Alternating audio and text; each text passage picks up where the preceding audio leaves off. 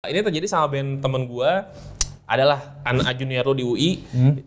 Ma- lima personil masing lagunya laku banget tuh wah Ah. 2019 meledak Hmm. semuanya ada tiga single lima personil ini masing-masing cuma dapat 400 ribu Ya, Bahkan gitu. katanya ada beberapa artis yang memang tampil di dua-duanya, Pak. bener Jadi tampil di Soundrenaline, tampil di Sinkro juga. Jadi dibawain verse-nya di Sinkro, refnya di Synchronize. Ya kan bener ya? Iya. Ya gitu. Iya, Iya. Kalau nggak salah RHCP gitu nanti. Menurut gue, yang boleh flexing itu adalah orang-orang yang duitnya dari hasil keringat sendiri, bukan Ka- dari pajak, contoh bukan dari pajak rakyat. contoh Contohnya, langsung kita kasih tahu ini dia daftar musisi-musisi lokal yang boleh flexing karena tajir melintir bukan dari uang pajak. nah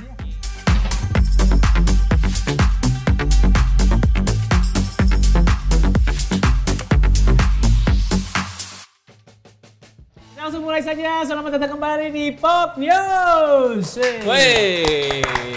One Stop Channel soal musik, baik lokal ataupun internasional. Betul, masih ditemani sama dua host favorit masing-masing ya. Iya betul. Bukan favorit lo. Bukan juga. Betul, kita nggak terlalu peduli. Ada Kamal di sini dan ada Ada Randy, Randy siapa anjing? Randy Denboy. ada Denboy di sini ya. Randy itu Pandugu. Iya. Ada Kamal, ada Randy. Ini pertama kalinya kita akan hadir di beberapa platform, Pak. Oh oke, kita akan on air di radio. Enggak, Oh Randy enggak, siapa? gue kira kan ada di beberapa Lo platform. PRSS nih. Wah anjing masih ada. Ah sih gila lu Oh, itu iya. lembaga atu-atunya. Oke, oke, oke. Kita akan tayang di YouTube channelnya Pop Asia Media sudah Betul, pasti. itu Seperti udah pasti. biasa, setiap hari Selasa kita tayang jam 5. Oh jam 5 sore ya? Jam 5 sore. Oke. Terus ini juga bisa lo dengerin di podcast. Iya, betul sekali. Di Jadi lo Spotify. Ya. Spotify. Silakan kalau misalnya lo lagi di jalan males eh, dengerin lagu bosan karena playlistnya itu itu aja. Biasanya kan kalau di mobil gitu ya, ah playlistnya ini lagi gitu. Lo dengerin Iya. podcast gitu. Sampai capek juga bikin playlist setiap hari. Iya, lo silakan dengerin podcast eh, BKR. Enggak dong. Ini Nama podcastnya sama ya? sama sama Pop, News. News. Pop News. Mudah-mudahan belum ada yang make karena pas kita taping ini kita belum bikin podcastnya. Kan iya. karena kita mau daftarin haki dulu. Takutnya nanti ada yang ada yang shoe. Iya, aduh. Aduh, mana kita nggak ada duit lagi. ada ada duit ada. Ya udah, oke. Oke, jadi udah dari dua platform, eh, di, Ya. di dua platform YouTube sama Podcast. eh, podcast kita ya. Mudah-mudahan lancar-lancar. Pokoknya lo, mudah-mudahan ke depannya bisa mendengarkan selalu eh, podcastnya Pop News. Kita akan bicarakan segala macam hal soal musik lokal maupun internasional. Iya. Kita langsung mulai edisi Pop News kali ini dengan segmen favorit semua orang. Britpop.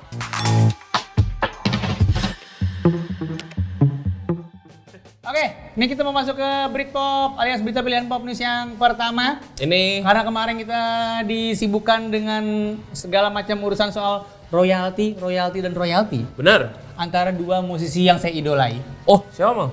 Ahmad Michael sama Oce eh, Dani. Oce Dani.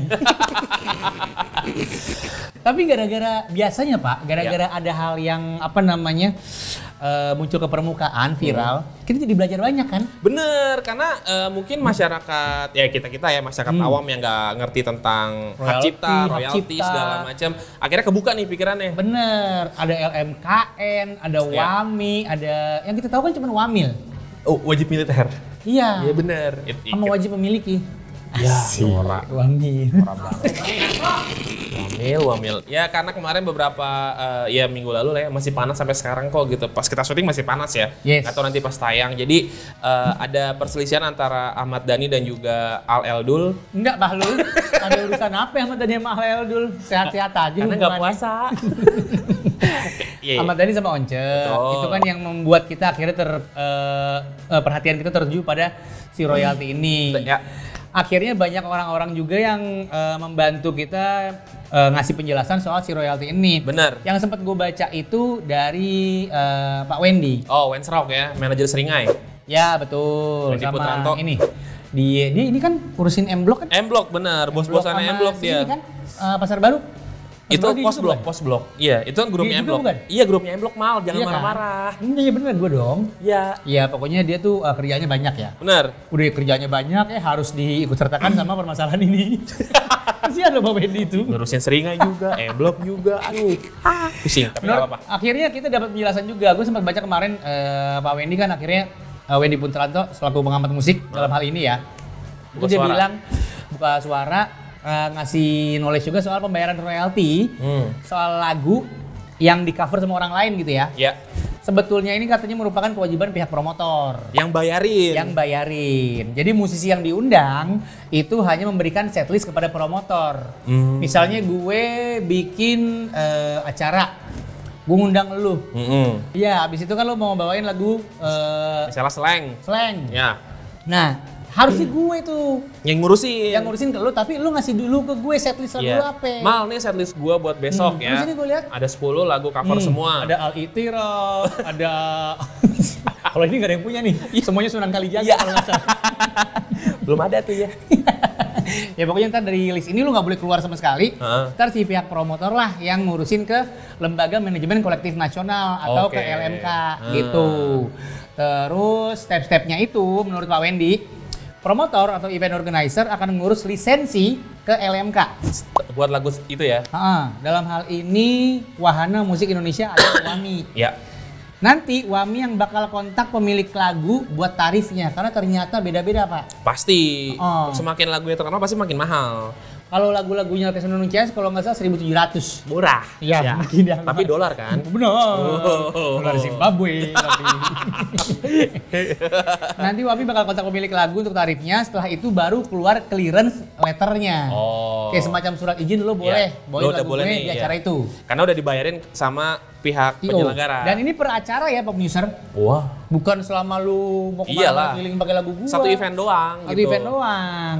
Terus jumlahnya itu 2% dari tiket atau 2% dari ongkos produksi yang dikeluarkan. Kalau ya? itu bentuknya konser musik. Kecil. 2% Iya. kecil.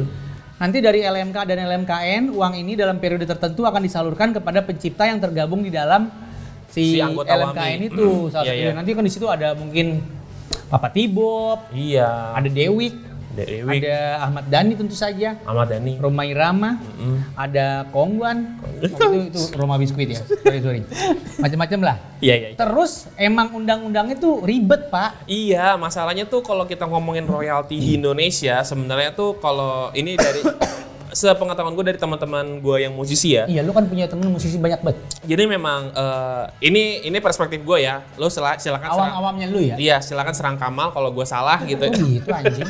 Nggak, jadi memang Nggak eh, sebenarnya kalau ngomongin royalti di sini, misalnya lagu lu laku banget nih mal, Hmm. streamnya berapa juta gitu, kemudian segala, ya sekarang kita nggak ada fisik ya, jadi kita nggak ada tolak ukurnya gitu, kita sekarang semuanya serba streaming. Jadi eh, ini terjadi sama band temen gua adalah anak junior di UI eh, ma- lima personil masing lagunya laku banget tuh. Wah 2019 meledak semuanya. Ada tiga single.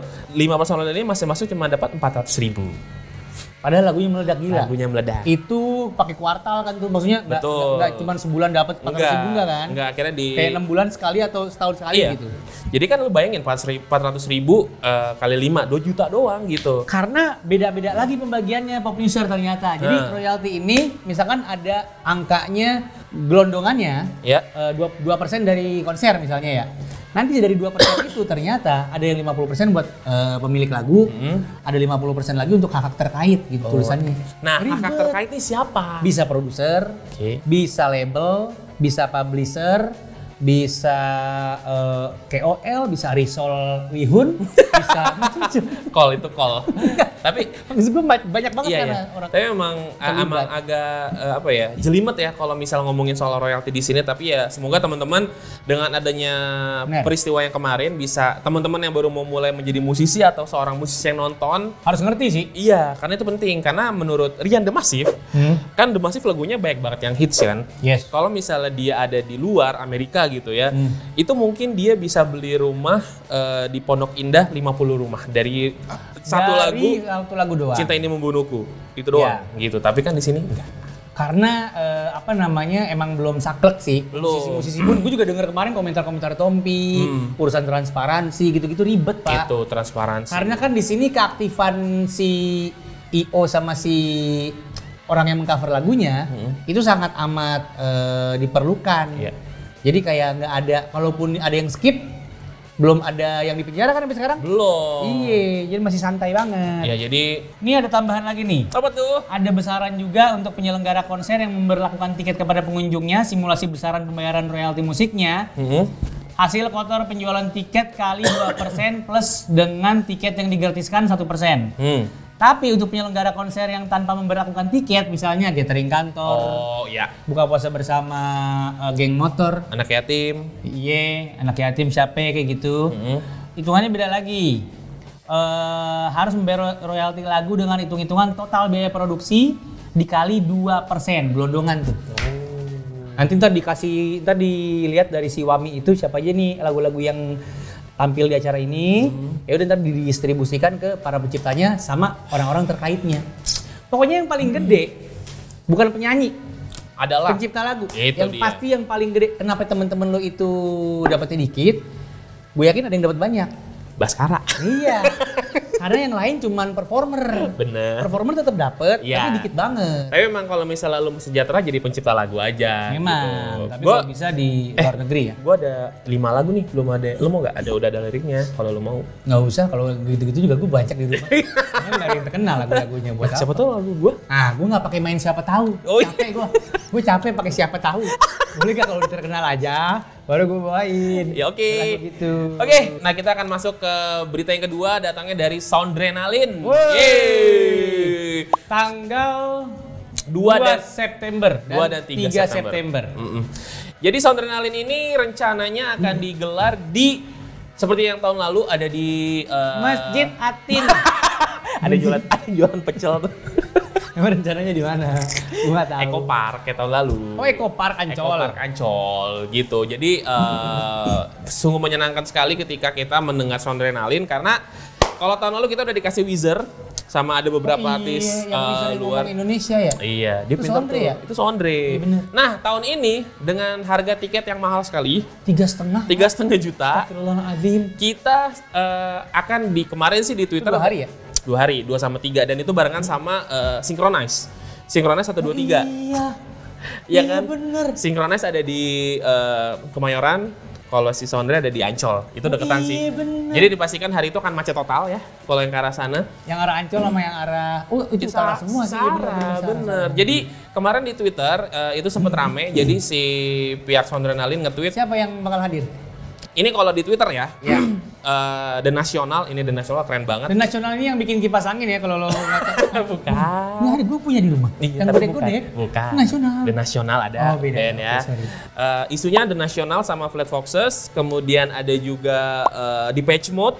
Wah, Iya, di Patch Mode. Kemudian eh, ada Blur hmm. sama Asik RHCP. makanya. Eh, Asik, dia Dulu asik. matanya kayak itu ya. Sama RACP karena kemarin abis dia nge-tweet si Flat Foxes dan The National tiba-tiba dia ngasih meme uh, Flea.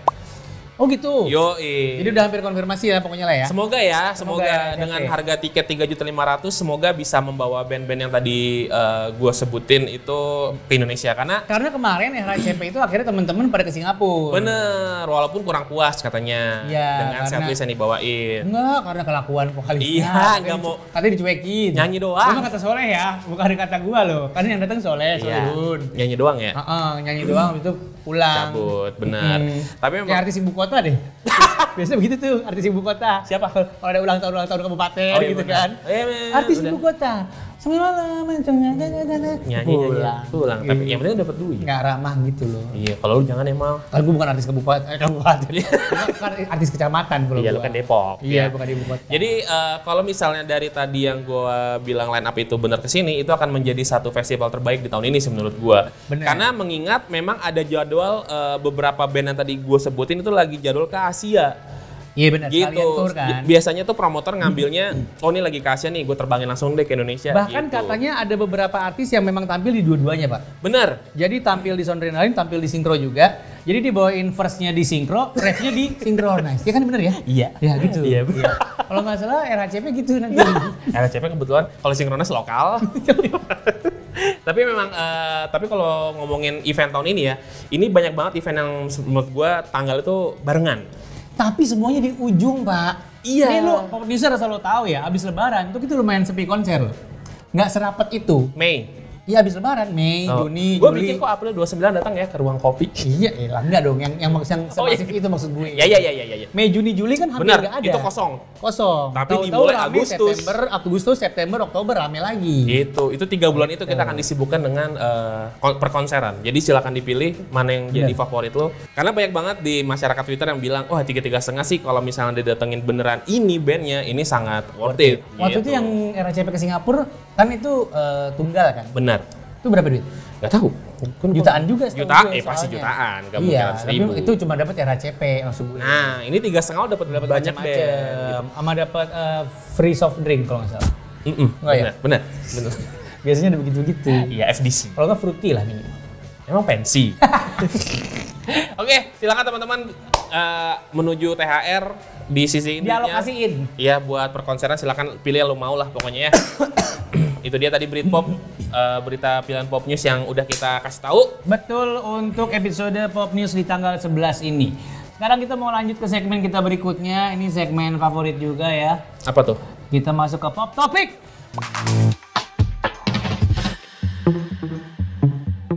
Oke, tapi kali ini tentang eh, orang yang suka pamer. Flexing. Karena kemarin lagi rame banget Ya. eh, para pejabat beserta istri dan keluarganya flexing-flexing ya. Tapi akhirnya dilarang sama bos-bosnya, ada yang Iya. dimutasi, ada yang diberhentiin, ada yang ditangkap KPK, macam-macam lah ya. yang lucu motor gedenya langsung dijual di OLX. Rame. Kok banyak Harley ya? Dari mulai mereka pamer sampai akhirnya mereka dilarang untuk pamer gitu kan. Kenapa mereka dilarang ya? Karena takutnya barang-barang yang dipamerin itu bukan dari hasil duit pribadi tapi dari duit negara. Wah bahaya bahaya bos. Ya. Menurut gue, gue sepakat sama orang-orang yang eh, apa namanya melarang-larang inilah ya. Hah, kenapa emang? Ya kan takutnya duit lu tuh kagak halal-halal amat. Hmm. Menurut gue, yang boleh flexing itu adalah orang-orang yang duitnya dari hasil keringat sendiri, bukan Kan? dari pajak, Contoh, bukan dari pajak rakyat. contoh. Contohnya, langsung kita kasih tahu ini dia daftar musisi-musisi lokal yang boleh flexing karena tajir melintir bukan dari uang pajak. Nah, ini dia. Yang pertama itu datangnya dari eh, musisi lawas. eh, penyanyi dangdut yang memang rumahnya tuh di Pondok Indah. Gua waktu waktu itu gua sama Morat mau ke sini kan. Mau ke Sini sini. mana ke rumahnya? Ke sini Oh, syuting. Oh, iya. Kan gua bilang sama Morat mau Iya, ke oke. sini. Terus? Lagi syuting sama di depan rumahnya Oh, buat konten. buat buat RCTI. Kan dia ada program di RCTI. Syutingnya di rumahnya dia. Iya, kan biasanya eh, siapa namanya suaminya tuh Adam jadi Suseno. Iya, jadi itu ke pemulung apa gitu. Iya, pokoknya kan dia jadi konten tuh, Ah, jadi ah. cameo atau apalah, jadi Nah. lucu-lucuan. Benar, ini memang cocok dan punch. Boleh flexing. Kalau yang kalau lu bernama Inul Daratista, Oh. Seorang penyanyi dangdut yang legendaris, Iya. boleh flexing karena Inul Daratista disinyalir menyimpan kekayaan mencapai 300 miliar. Wow, 300 Kekayaan bersihnya miliar. ya. Dia tuh Ini baru baru perkiraan. Bener, Karena tapi- nggak ada yang tahu aslinya berapa. tapi gue respect sama Mbak Inul karena eh, orangnya baik banget mal, sumpah. Emang baik. Baik banget. Emang baik. Dia suka update status WhatsApp ya. Beneran. Nonton ya acara saya. Ini salah satu penyanyi dangdut dengan bayaran termahal juga. Berapa, Mang? Bahkan sampai sekarang nggak ada yang tahu, Pak. Oh. Aslinya nggak ada yang tahu, tapi bisa jadi eh, menurut rumor yang beredar ratusan juta sekali tampil.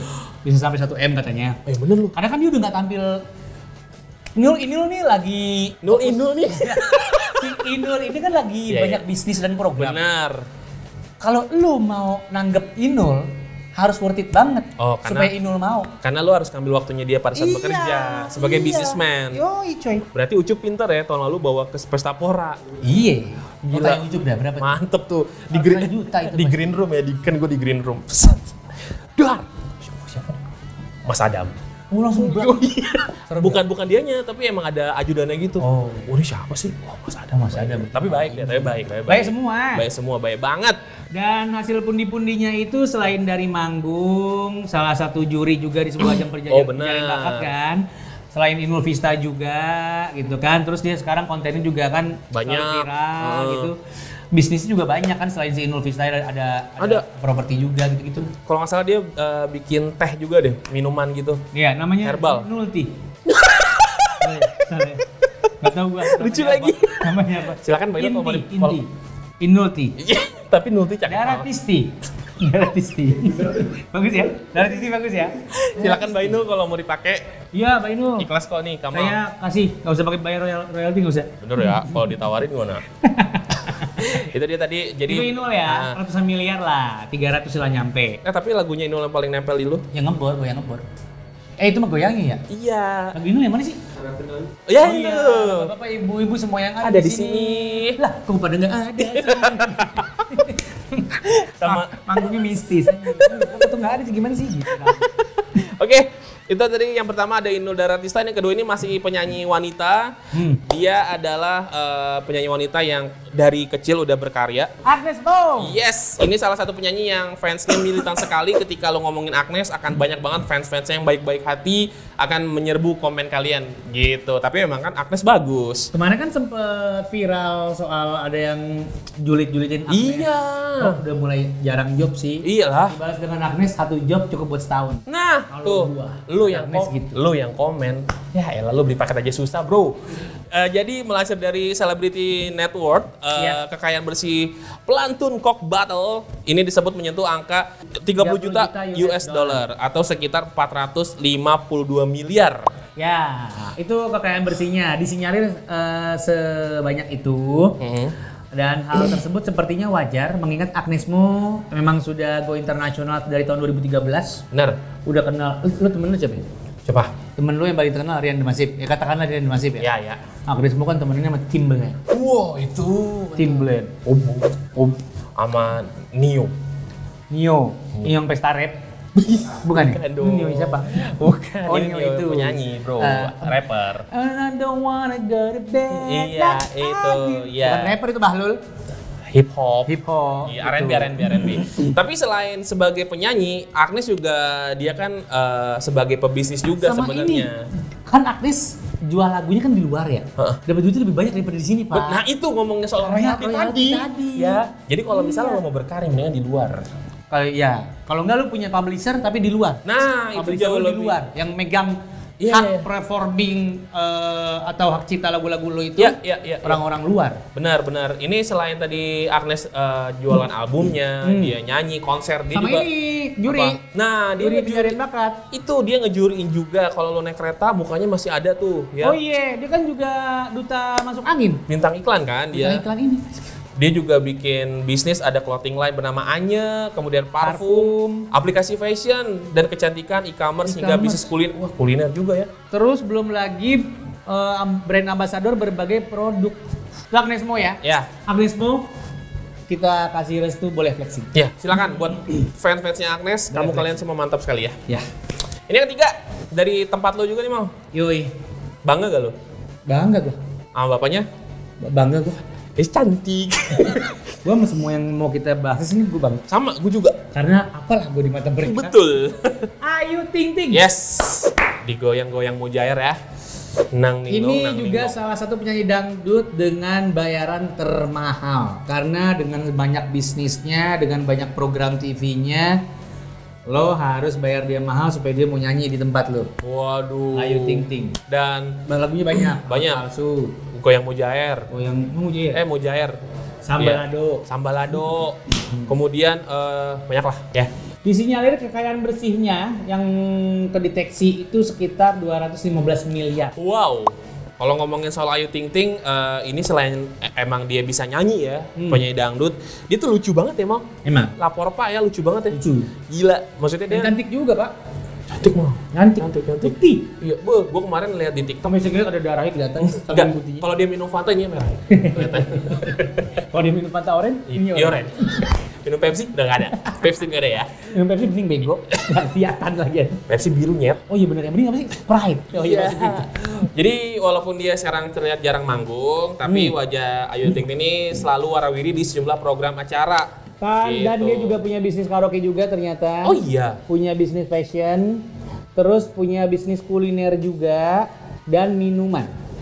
Oh, minumannya nih kita nggak paling kopi lah ya, kopi teh. Mungkin. Hmm, Disebut, jadi. cuman disebut minuman kekinian. Nah, wah, berarti Mungkin ini, eh Ting Ting Fresh.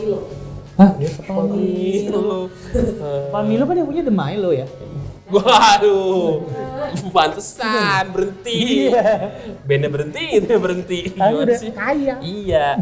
Jadi buat Ayu Ting Ting, eh gue manggilnya Teh Ayu ya. Cah, elah Teh Ayu Kan bener. orang Jawa Barat. Bener. Kan di Depok tinggal ya. Iya, dan dia juga akan main di Pesta Pora tahun ini, jadi patut ditunggu. Oktober berarti ya. Hmm, Oke. menyenangkan sekali. Selanjutnya Nah, ini kalau yang akan kita kasih tahu, jujur mal demi Allah, gue pernah main ke rumahnya di Pejaten.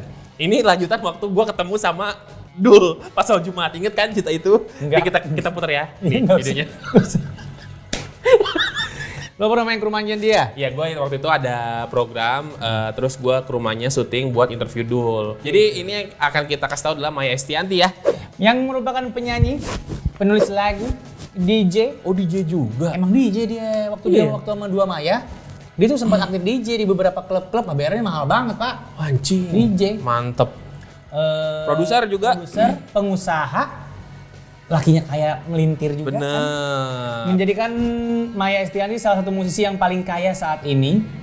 Jadi Maya saat ini kalau emang lo cuman lihat di ajang pencarian bakat ya, mungkin sesekali. Mm-mm. eh, dan udah jarang ditampil di TV karena katanya dia lagi fokus bisnis pak. Bisnisnya banyak banget. Wow, wow, wow, wow. Tapi kalau ngomongin soal Maya ah, Maya Estianti, Ya, maksudnya itu. Maya Estianti. Maya Musri. ini nih eh, memang bisnisnya banyak banget terbukti dengan eh, total kekayaan beliau itu lebih dari Pokoknya beberapa ratus miliar juga. bener. Jadi bisnisnya ya dari Apa aja, mulai bisnis kecantikan, Wih. dia tuh punya merek dagang EMK Beverly Hills. EMK mungkin aku nggak tahu. Beverly Hills. Ya Beverly Hills. Berarti dia beli license kan tuh? Bah, nggak ngerti gue. Yang pasti dia punya klinik kecantikan di London, Pak. Wah, London, men. Oh, Dan ini bukan London Public School of Relation. Gimana? LSPR, London School Public London Relation, School. bener. Balik gue barusan. Ada di sini ya. dekat. LPSR Eh, barusan ngomong. LSPR ya. Iya. Di London beneran? Pantesan si L tuh di kuliah di sana. Mungkin sekalian coba nak Yang kalian toko. enggak lihat-lihat tanah yang masih kosong di mana itu. Iya. Kenapa mama? Mau mama em, di situ mau mama taruh mixway. Sebelahnya ada tahu kriuk. Terus dia juga punya bisnis kuliner dan eh, dapur rekamannya juga Ya. komersil ya. Dan katanya punya perusahaan outsourcing di kota kelahirannya Surabaya yang telah menaungi 7.000 karyawan. Wow, wow, wow, wow. Ini Boleh, lebih banyak banget ya, lebih banyak dari karyawannya John LBF. John LBF 1.500. Oh, iya, iya. Ini 7.000. 7.000 katanya Ayo Bang John, begitu. semangat. Bisa ya. Dan Maya ini diketahui juga koleksi, saya ulangi ya, koleksi tas branded Hermes. Wih, lu bisa tahu cara bacanya mal? Hermes. Hermes. Hermes. Ya, Hermes. dah. Kan kemarin kalau yang lo lihat flexing-flexing bini pejabat kan Bener. dia punya mungkin berapa tujuh kali ya. Iya. Kalau orang udah ngomongin koleksi itu harusnya di atas 10. Di atas 20 mal. Di atas 20. Di atas 20. Pokoknya range harganya dari mulai 400 juta katanya ya. Hmm. Sampai yang 2 miliar dia punya. Tas. Begitu dibuka tuh eh, tisu Indomaret. Nggak masalah. Karena tasnya 4, 2 miliar. Betul sekali. Jadi buat kalian-kalian istri pejabat yang kemarin flexing, nih kiblat kalian harus ini nih, Maya Estianti ya. Ini dia dengan keringat sendiri dari tahun kapan waktu zaman Pingkan Mambo, kemudian 200 sama Mulan, akhirnya sama Ma- sama siapa? Sejak dia Siapa apa namanya Meichan. Meichan. Pokoknya kan sempat ada masa-masanya akhirnya Maya harus struggling sendirian. Bener. Sebagai eh, musisi. Iya. Dia eh, bantuin produserin Pasto. Wah bener, gitu bener. lah. Aku pasti kembali tuh eh, produsernya itu. Arnold. Bukan, bukan Terminator kan? Abibak. Abibak. Aku pasti kembali. ya kan? Iya. Ya, itu Iya. ciptaan Maya buat film Terminator. Tapi ini gua eh, ini cerita lagi ya.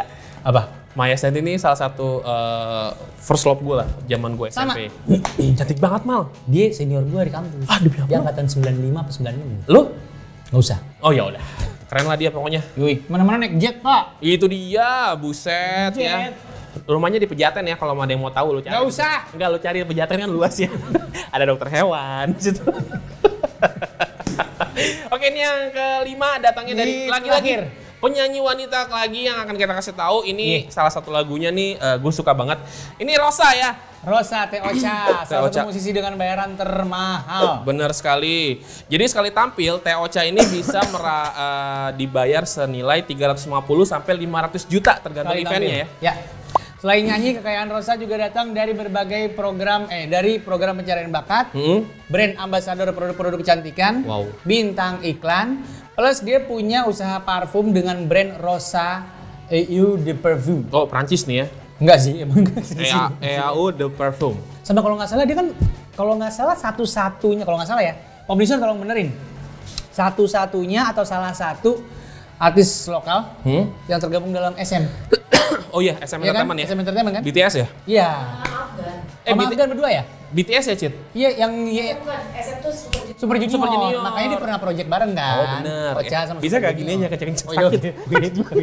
Iya, iya bukan BTS, sorry, suju, suju, suju. Setuju, setuju, setuju. Terus dia juga punya Eh. merek dagang Rosa Beauty untuk produk-produk kecantikan. Wah, the best ya Teh Ocha dan Teh Ocha sendiri juga kalau misalnya dia kalau lo ngejuri dia tuh orang yang paling apa ya? Senyum terus gitu Yang ya. paling paling iya paling hangat nggak gitu. pernah ada komen-komen negatif parah Benar, gitu. benar, Kayak tetap benar. baik gitu. Jadi selalu jadi good guy lah dia kalau di Iya. juri, juri pencarian Heeh, bakat. good girl lah, good girl. Oh iya benar, good girl karena dia perempuan. Kau jadikan aku ini wanita yang kau pilih. Wah, 2024 rame nih lagu nih. Oh bener, pilih-pilihnya tuh. iya iya iya iya iya iya. iya. Pemilu. Bener, bener, Iya iya. Plus dia juga punya usaha jual beli properti rumah mewah. Wah gila. Gila gila Jadi rumah mewah. Jadi dia nggak jual kayak rumah bekas apa itu yang hubungi Lia nggak ada Oh, nggak- oh, nggak ada. gitu, Nggak ada, gitu. nggak ada, nggak ada. Dia mah- khusus rumah mewah. Hmm. Dan dia juga punya villa di Bali dan Raja Ampat. Pernah menghadiahi rumah untuk orang tuanya senilai 20 m. Wah gila Rumah. gila gila. Kalau sama temen gue dijadiin komplek tuh, bukan rumah. Ya, gua juga. Karena temen gue oh, developer. Oh. Developer kecil-kecilan. Kalau gue gue jadi lapangan bola. Terus buat apa? Lah biar pada latihan ah tapi nggak usah ngomongin bola lah. Oke. Itulah dia artis-artis atau musisi-musisi lokal yang boleh flexing Boleh flexing ya. karena eh, kekayaannya bukan dari uang pajak. Tapi memang gue salut dan respect sekali karena mereka memulai dari nol gitu. Beneran Ya, dari karena mereka kerja di Pertamina kebetulan dulunya. enggak dong. Dari nol ya? Oh, ah, iya.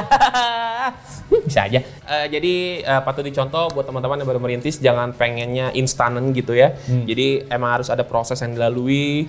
Inilah contoh contoh sukses segini juga gitu ya. Ya, Lu- makasih. Lu, sukses loh mau. Sukses kan beda-beda tiap orang. Iya kalau Ukurannya iya, apa? Itu. Kalau ukuran gue kan tetap Haritanu.